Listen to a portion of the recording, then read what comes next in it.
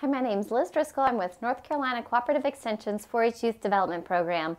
I'm really excited to share with you, we have a new curriculum called Beekeepers. It's for middle school youth to learn all about beekeeping, about our honeybees, about our native bees, um, and everything in between. One of the activities that we encourage the young people to do to better understand the bees that are living in the world around us is to go out into the garden, out into the landscape, and begin to just notice and observe um, what bees they might see flying around. So they can do this and take pictures or they could collect the bees, but one of the most satisfying ways to begin to understand and categorize the different bees that are in our world is to do sketching. And so I'm going to walk you through the steps to make your very own um, bee sketchbook. So to start, what you need are um, a little sturdier piece of paper. It doesn't have to have um, anything on the cover. In this case, I've just done um, a bee, but it's a piece of cardstock and then a number of different pieces of paper for your filler. You could use printer paper, you could use sketch paper, depending on um, what your interests are. And then what we need are bookbinding supplies. So we have a bone folder. So this is something that's gonna help us um, make nice crisp folds on our paper. You need a bookbinding so it has a sharp point and we're gonna punch some holes through the paper so that we can add our binding thread. You're gonna need waxed linen um, thread. The wax on this will really help the thread move through the holes more easily. Um, if you can't find wax linen thread, you can actually use beeswax and wax your own thread. You're gonna need a needle to, um, that has a nice hole eye large enough that you can thread your um, thread through so that you can go through the book and then two clips that will help keep everything in line so that our paper doesn't move. To get started, the first step is to take your filler paper and you want to fold the edges pretty close to each other and then you're going to take your bone folder and you're going to make a sharp crease kind of right in the middle and then bring it all the way across to the edge. So again, starting from the middle and going out to the edge. So now you have this nice sharp crease on your filler paper. Then do the same for the cover. Kind of match up your end to end here and put your finger to hold it. Take your bone folder, kind of make that first crease in the middle and then bring it out to the edge. So now you've got a nice crisp folder cover and all your filler paper and you're going to put these in um, right in the middle like this. And once you have it lined up to where you want it with the folds in the middle lined up, take your binder clip and put one on the top and then do the same on the bottom on the opposite side. And this is going to keep our paper um, nice and lined up so that our holes will, will work out. Then take a ruler and figure out where the middle of your book is. So this is about um, eight and a quarter, so about at the four inch mark. Make a little dot, and that's gonna be hole number three. And then what you wanna do is you wanna make five holes in total, and you're gonna mark um, them equidistantly. So make your measurements, find those, and make little marks. And all this is doing is this is helping you um, to be able to know where to poke your your holes with your bookbinding awl. So take your sharp point, you're gonna punch a hole right through those marks. Be careful that you don't punch yourself on the other side of the book. If you're doing this with young children, um, you might help them with this step.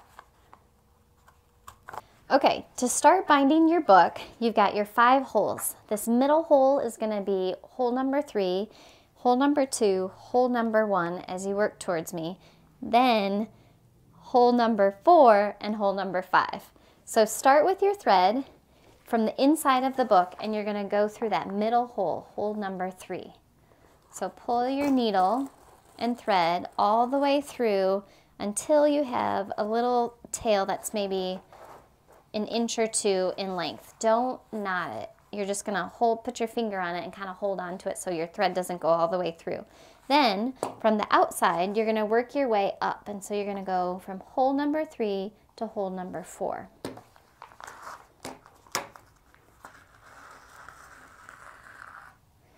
Make sure that you hold this tail and you want your stitches to be nice and tight. Otherwise, if you have a loose binding, then your pages get a little bit loose. So from the inside, from hole number four, go through hole number five, pull that thread all the way through, make it nice and tight, flip it over, and now we're gonna work our way back down the book spine towards the middle. So from hole number five on the outside, go into hole number four on the inside. You can flip it over. All right, from here we've got nice tight stitches and we're gonna go right into the middle and we're gonna do this all over again. Going from hole number three to hole number two. So from the outside, go to the inside, pull your stitches nice and tight, hole number two to hole number one, turn it over, and then you're gonna finish off by going from this hole number two back through hole number three, the middle hole, your thread might be getting a little busy here, but be patient. So that's what your inside looks like. You still have your tail. Flip your book over on the outside. And what you're gonna do is you're gonna make a little knot on the outside. So just take your thread, kind of put, pull it through a thread and make a knot. Okay.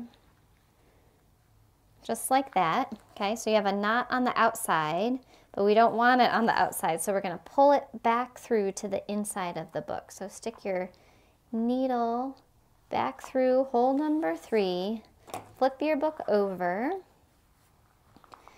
and you kind of want to, when you get to the end of your thread, just pull enough here so that your knot kind of pulls in from the spine and it's going to go um, kind of in between the pages, so it kind of gets hidden from the back of the um, from the outside of the of your book. Now that you have that knot hidden, you're going to tie off this knot. So just take um, and make a simple knot, just like that, and then your book is finished. So you can cut this off right here, and you can either cut these really short, or if you want, you can just um, weave them into the um, the binding, just like that. And there you have it. So you have your very, and you can take your clips off. You have your very own bee book for sketching. So I hope you go out and enjoy, find a lot of really interesting bees and make some really um, vibrant sketches and you can capture what kind of bees you have in your backyard. If you have any questions, please contact me, Liz Driscoll, with North Carolina Cooperative Extension.